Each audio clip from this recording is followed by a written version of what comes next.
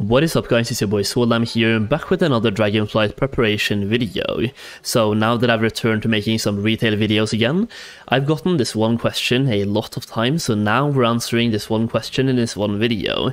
So this video will be all centered around BOE farming in uh, Dragonflight, and that is the question that I've been getting, like are we going to be able to farm BOEs in the open world the same way in Dragonflight that we have been doing in Shadowlands, and uh, like at the launch of Shadowlands and BFA and the previous expansions we have farm the BOEs in the open world, usually in like a 2 times 4 type of group format, where you can farm as up to 8 people in 2 groups of 4.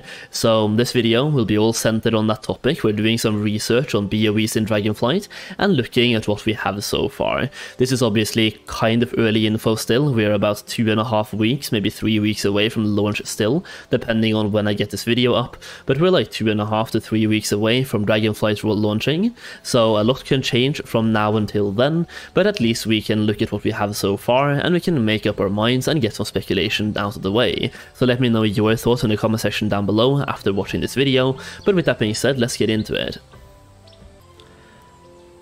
So the type of farm that I mean when I say 2 times 4 farming is, for example, the one you can see on the screen right now, which is an example of a 2 times 4 farm we found in Shadowlands where we're farming for both cloth and different stuff in the open world, as well as getting the chance of world drop epics. So to do this, you want to have as many druids as possible, you're basically pulling and killing mobs towards a monk statue in the middle, and when we're talking about world drop BOE epics, this is what we mean, so farming in a group, getting as many kills as possible, if it has like, let's say it has a 1 in a thousand drop chance, you want to kill a thousand mobs as soon as possible. Typically it has a way lower drop chance though.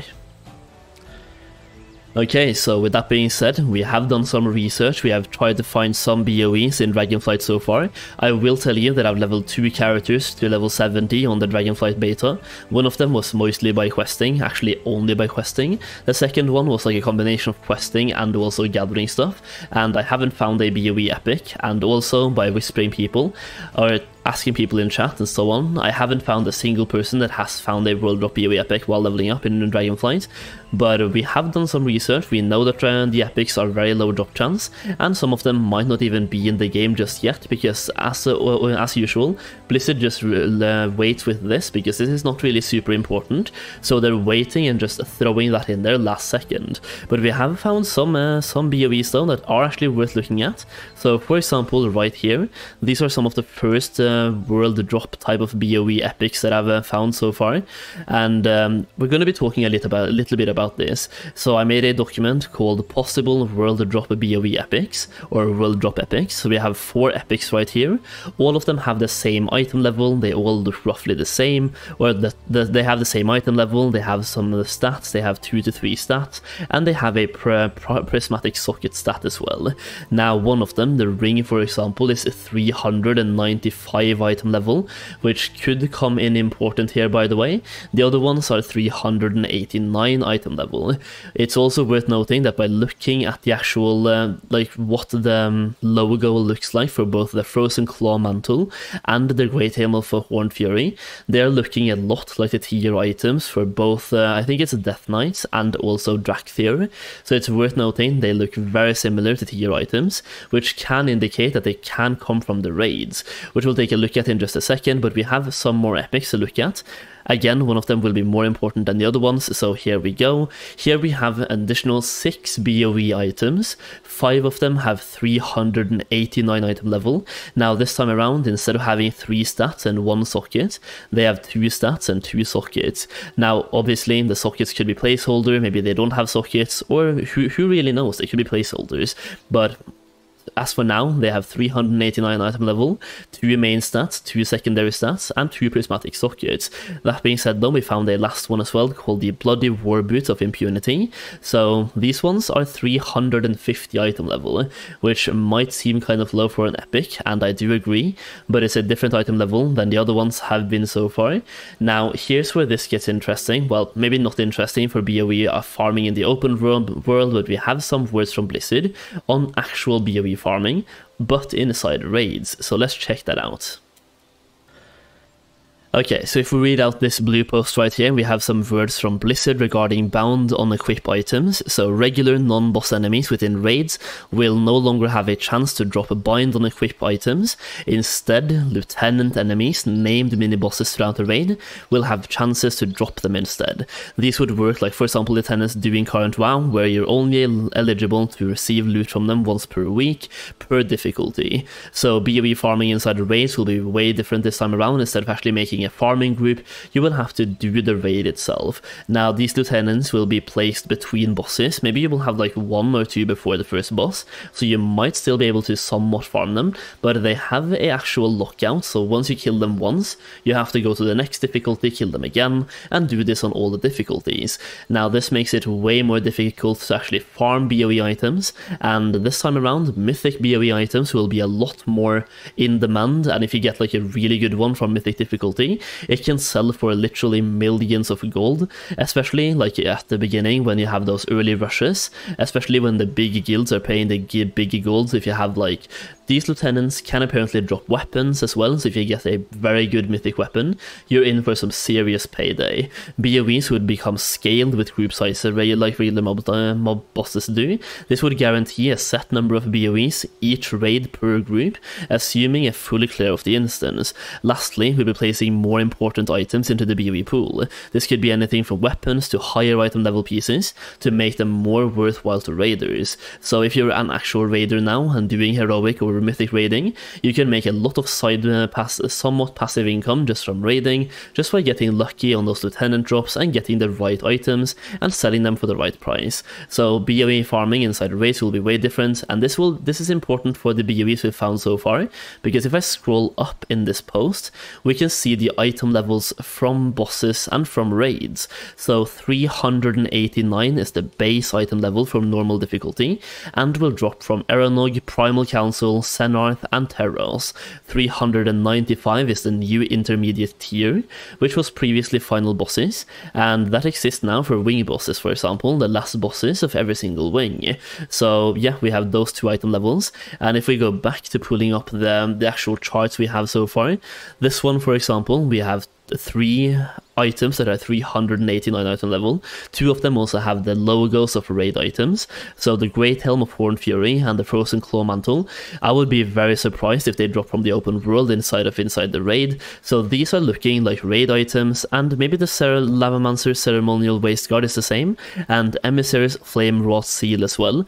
It's uh, the, the tier 2, right? So 395, which we can see once again right here.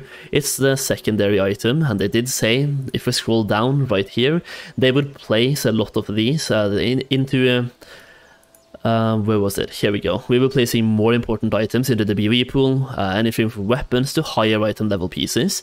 So we already have one higher item level piece that is data mined so far, that is a BOE. That being said though, on this picture for example, we have a lot more items. Some of them don't have the logos that I would think they have, and we have a lot of wrist items, chest items, legs, feet. It's the same stuff, so chest, wrist, legs, and feet.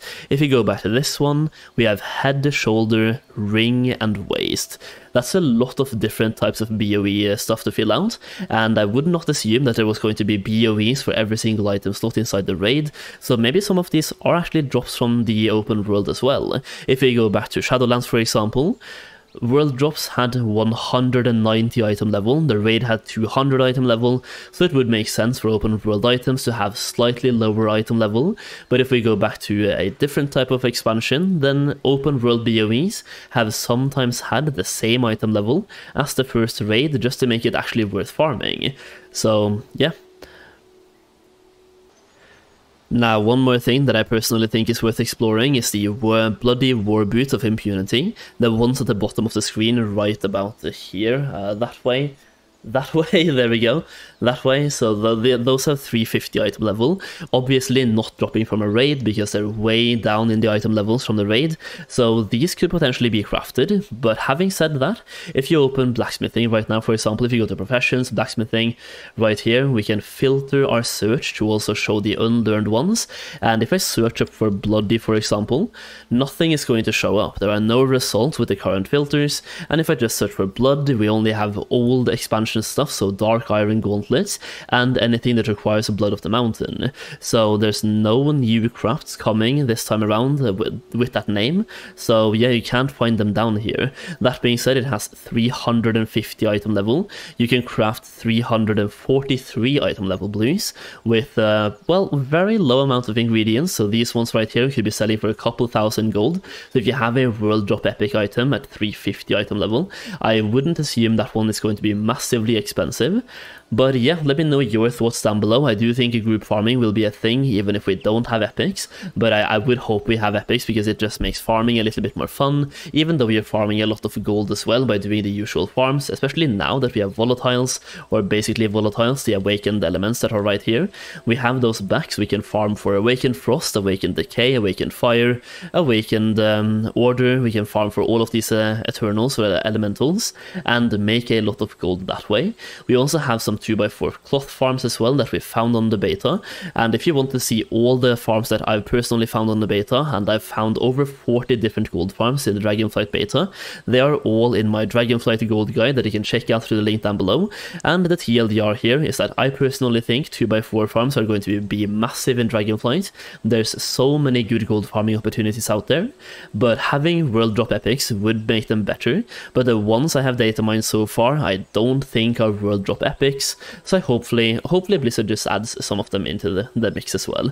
Hopefully you enjoyed the video though, just a quick TLDR on the information that we have for World Drop Epic farming or BOE farming in general. So far, they have massively overtuned the, uh, they have changed how you make how you get them from raids. So instead of actually farming them inside raids now, you're just getting them from mini bosses throughout the raid. So if you want to raid and make gold, well, there you go. Very good way to make some extra gold while doing your usual raiding activities. Either way, I hope you enjoyed the video. If you did, leave a like down below, subscribe for more Dragonflight content. We have a bunch planned. We have Dra uh, profession review series. We have a launch plan series, preparation videos. We have a lot of Dragonflight videos to help you make as much gold as possible in Dragonflight. So yeah, subscribe for those, leave a comment down below, leave a like on the video, hopefully you enjoyed, thank you so much for watching, and I'll see you again very soon.